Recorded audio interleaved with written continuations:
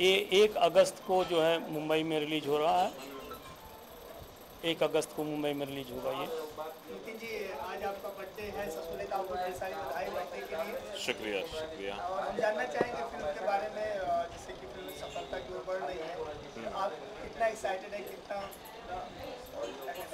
जब ये फ़िल्म तीसरे हफ़्ता सप्ताह में थी तभी मैं लंदन में था। और जब मैंने सुना कि पिक्चर इतनी अच्छी चल रही है इतना काम अच्छा काम कर रही है तो मुझे लगा कि मैं पहला फ़ोन मैंने डायरेक्टर साहब को लगाया।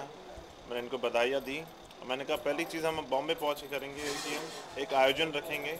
सबको थैंक यू बोलेंगे, जिन जिन ने हमें सपोर्ट किया है पिक्चर बनाने में। क्योंकि ये मेरी पहली पिक्चर है तो इस पिक्चर में मुझे बहुत सारा सपोर्ट मिला। हमारे हीरा दादा से मिला। इन्होंने मेरे को काफ़ी हेल्प किया। रिगार्डिंग डायरेक्शन डायलॉग डिलीवरी के लिए भी इन्होंने मुझे काफ़ी हेल्प किया था। So all together feeling is very very good like it's a positive feeling film के बारे में बात की जाए तो शिव जी शिव जी जी मेरे वहाँ पिता समान थे। जैसे बच्चा कोई गलती करता है तो उन्हें पहले करेक्ट करते थे तो उन्होंने मेरा इतना ख्याल रखा इतना ध्यान रखा कि ऐसा लगा ही नहीं कि मैं घर से बाहर हूँ कहीं। ऐसा लगता है हम एक पूरे परिवार में घर में जो रोज का कार्यक्रम हो रहा है वही चल रहा है। सो so, उन्होंने एक घरेलू मा- माहौल रखा था वहाँ पे मेरे लिए जो कि बहुत अच्छा था। आप क्या कहना चाहेंगे आगे की क्या भावना है फ़िल्म फ़िल्म फ़िल्म की कामयाबी को देख के ऐसा लग रहा है कि यू नो हम और एक पिक्चर बनाए और यही फैमिली यही फैमिली फैमिली लेके चले हम आगे। यही स्टार कास्ट यही सब। क्या यही सब लोग हमारे। बिल्कुल। जी।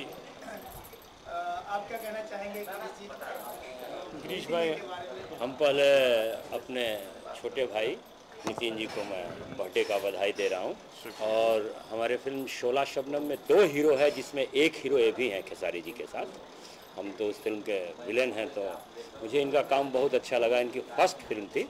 और सबसे बड़ी चीज़ हमारे फ़िल्म के डायरेक्टर साहब श्री शिव जी आर नारायण जी ने मुझे कहानी सुनाई तो मुझे बहुत अच्छा लगा। और आज ये फ़िल्म छठे वीक में बिहार में जा रही है। हम चार पाँच थिएटर में गए, बिहार में मैं दरभंगा में शूटिंग कर रहा था इतफाक से तो फ़िल्म रिलीज़ हुई तो मैं चार पाँच थिएटर में गया।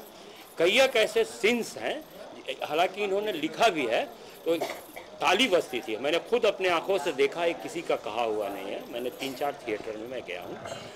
और मैं यही उम्मीद करता हूँ कि ये फ़िल्म हमारी साल भर तक उतरे नहीं अब मुंबई में भी रिलीज़ होने जा क्या रही है। यही हमारी भगवान से मनोकामना। है जी। बबली खान जी आपसे जानना चाहेंगे आप इस फ़िल्म का एक हिस्सा रही है मैं तो सारी टीम को धन्यवाद कहना चाहूँगी। और खास खास तौर पे बबली जी सर बबली जी जो है हमारी फ़िल्म की प्रोड्यूसर हैं जो आप बी के देख रही हैं। उसका पूरा फुल फॉर्म है बी फॉर बबली और के फॉर खान। तो हालाँकि इनका ओरिजिनल नाम फरीदा सिद्दीकी है लेकिन फ़िल्मों के लिए इन्होंने बबली खान नाम रखा है। तो बी के ये हमारी प्रेजेंटेटर हैं और इस फ़िल्म को पूरा करने में इन्हीं का बहुत बड़ा योगदान है। ये फ़िल्म जो आज ये पर्दे के पीछे रही हैं और हमारे साथ हम ये पूरी टीम अभी हमने कल्लू जी को साइन किया है। तो हम एक कल्लू बनल तूफ़ान हमारी आने वाली अगली फ़िल्म है, जो हम अगस्त में जा रहे हैं, पूरी टीम को लेकर। बलिया में हम शूट कर रहे हैं, बलिया वालों से प्रार्थना करते हैं कि हम वहाँ आएँ तो हमें पूरा सहयोग दें आपके माध्यम से। और कल्लू बनल तूफ़ान भी हम जल्दी दिवाली तक रिलीज़ भी करने की योजना है। जी तो बबली जी से आप बिल्कुल मुखातिब होइए। जी बबली जी आप क्या अपने एक्सपीरियंस शेयर करना चाहेंगे?